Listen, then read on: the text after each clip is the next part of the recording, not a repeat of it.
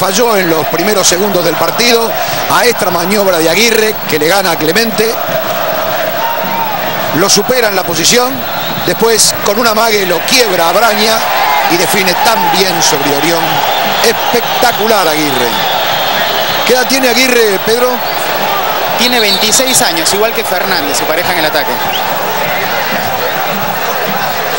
Está caído Villamarín, ¿no? Sí, el número 3.